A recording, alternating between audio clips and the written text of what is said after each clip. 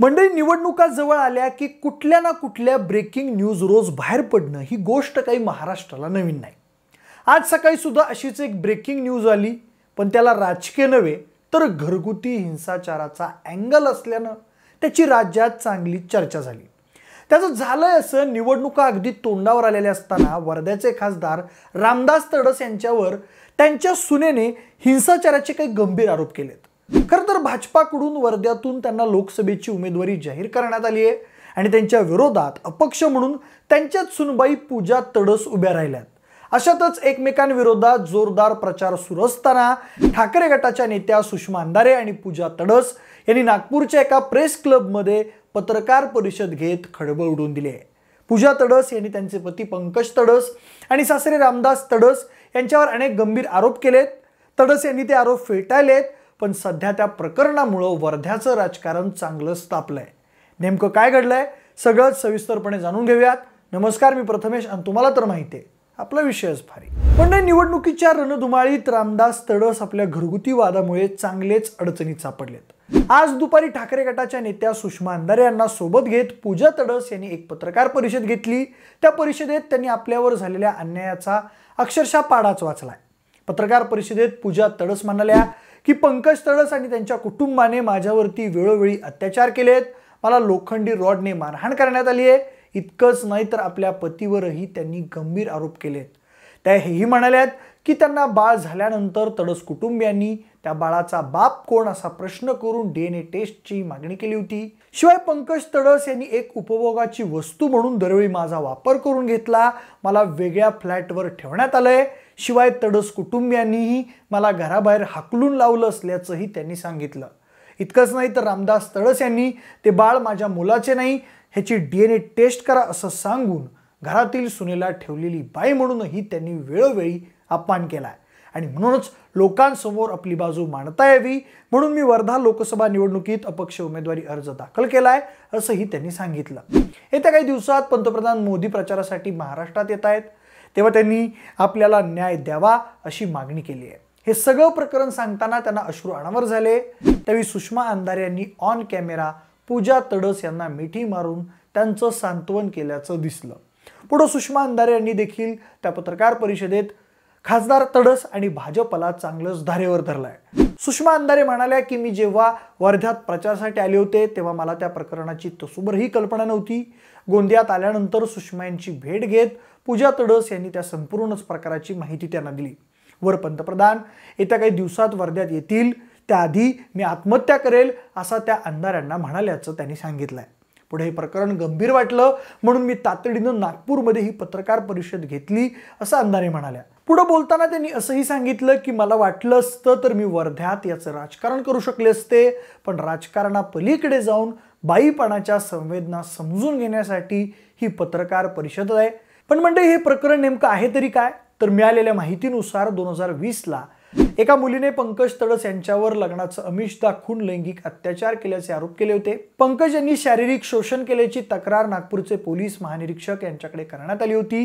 ती तक्रार करणारी मुलगी दुसरी तिसरी कुणी नसून पूजा तडस याच होत्या. शिवाय पूजा यांनी त्या संदर्भात एक व्हिडिओ देखील सोशल मीडियावर अपलोड करत महिला आयोगाच्या अध्यक्षा रुपालीताई चाकणकरांकडे मदत मागितली होती आणि तोच व्हिडिओ रुपाली चाकणकरांनीही सोशल मीडियावर त्यावेळी ट्विट केला होता. त्यानंतर काही तासातच पंकज आणि पूजा यांचं लग्न झालं आणि पूजा यांनी पंकज यांच्या विरोधात केलेले सगळे आरोप मागे घेतल्याच्या चर्चा त्यावेळी वर्ध्यात रंगल्या होत्या. तेव्हाही ते प्रकरण खूप गाजलं होतं. बीबीसीने घेतलेल्या मुलाखतीतही पूजा यांनी हेच सेम आरोप केले होते. ए बी सीशी बोलताना त्या म्हणाल्या होत्या की ही माझ्या अस्तित्वाची लढाई होती. पंकज यांनी माझ्याशी खोट्या लग्नाचं चित्र उभं करून माझ्यावर शारीरिक आणि लैंगिक अत्याचार केले होते. माझ्यासोबत फसवणूक झाल्याचं कळलं आणि माझा संघर्ष सुरू झाला. लग्नाचा विषय काढला की पंकज मला लोखंडी रॉडने मारहाण करायचा. आम्ही नवरा बायकोसारखे राहत होतो. दरम्यान मला गर्भधारणा झाली. पंकजने मला गर्भपात करण्यास भाग पाडलं. तू ठेवलेली बायको आहेस. तुला कोणतेही अधिकार मिळणार नाही असं पंकज नेहमी म्हणायचा. त्यानंतर पूजा यांना एक मुलगाही झाला.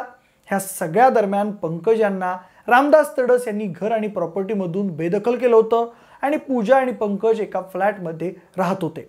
बरं हे सगळं प्रकरण एवढ्यावर संपलं नाही तर लग्नाच्या काहीच महिन्यात दोन हजार एकवीसला पंकज यांनी हे लग्न रद्द व्हावं म्हणून कोर्टात धाव घेतली.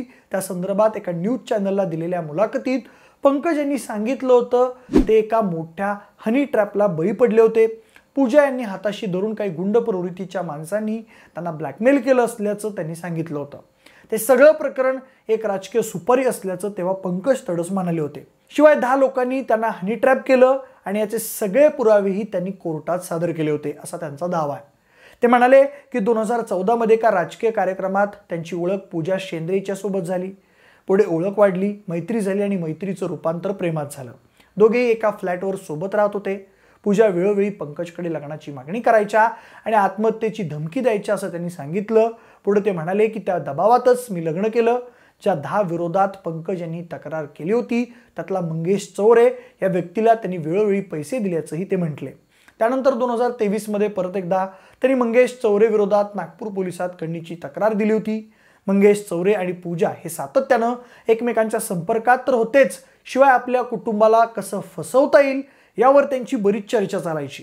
मंगेशने तब्बल पन्नास लाख आणि पूजा यांच्या नावे एक फ्लॅट अशी मागणी ही माझ्याकडे केली होती. असे का पत्रकाराला दिलेल्या मुलाखतीत पंकज तडस यांनी सांगितलं होतं. शिवाय तेरा ऑडिओ क्लिपही त्यांनी पुरावा म्हणून कोर्टात सादर केल्या होत्या. टाइम्स ऑफ इंडियानं दिलेल्या बातमीनुसार त्यांच्या हाती असलेल्या एका ऑडिओ क्लिपमध्ये पूजा ह्या पेटून घेत रस्त्यावर पळण्याचा आणि तडस कुटुंबाला हिंसाचाराचा आरोपात फसवायचा प्लॅन म्हणत होत्या. तर दुसऱ्या एका क्लिपमध्ये चौरे हा पूजा यांना तडस कुटुंबाला हत्येच्या आरोपात फसवायचा आयडिया देत होता. नंतर मंगेशला पोलिसांनी गजाडही केलं होतं. शिवाय मंगेशवर बरेच गंभीर गुन्हे देखील दाखल आहेत. त्यात खंडणीसारखे देखील गुन्ह्यांचा समावेश आहे असं पंकज म्हणाले होते. पण मंडळी तुम्हाला आता प्रश्न पडला असेल की थेट दोन हजार तेवीस नंतर हे प्रकरण आता ऐन निवडणुकीत का चर्चेत आलंय? तर पूजा तडस यांच्या म्हणण्यानुसार काही दिवसांपूर्वी ज्या फ्लॅटमध्ये पूजा राहत होत्या तो फ्लॅट पंकज यांनी विकला आणि पूजा रस्त्यावर आल्या. शिवाय त्यांचा सतरा महिन्यांच्या मुलाला सांभाळायचा प्रश्न त्यांच्यासमोर उभा आहे. म्हणून त्यांनी आता थेट मोदींकडेच मदत मागितली आहे बरं त्या प्रकरणात ज्यांच्यावर मोठी गदा आली आहे ते खासदार रामदास तडस यांनी पूजा यांचे सगळेच आरोप फेटाळून लावलेत. रामदास तडस म्हणतात की लग्नानंतर त्यांनी पंकजला घरातून बेदखल केलं तेव्हा दोघेही वर्ध्यात राहत होते. पण त्यांच्यातली कुरबुर वाढली तेव्हा पूजा या रामदास तडस यांच्या घरी राहायला आल्या होत्या.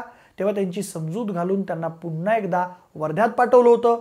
आता आमचं आणि त्यांचं काही घेणं देणं नाही असंही तडस यांनी म्हटलं आहे दरम्यान सध्या विरोधकांकडे कोणतेही मुद्दे नसल्यानं ते कौटुंबिक वादाला राजकीय वादाचं स्वरूप देऊन आम्हाला कोंडीत पकडण्याचा प्रयत्न करतायत असाही आरोप रामदास तडस यांचा आहे. तसंच दोन वर्षे कोर्टात केस सुरू असताना सर्व काही सुरळीत सुरू होतं मात्र निवडणूक लागताच असे आरोप करण्यात येत आहेत.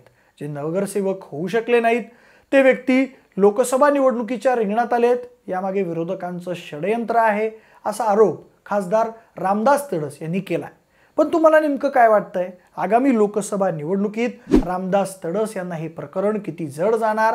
वर्धा लोकसभा निवडणुकीत या प्रकरणाचे काही पडसाद उमटतील का? तुमची मतं आम्हाला कमेंट करून नक्की सांगा.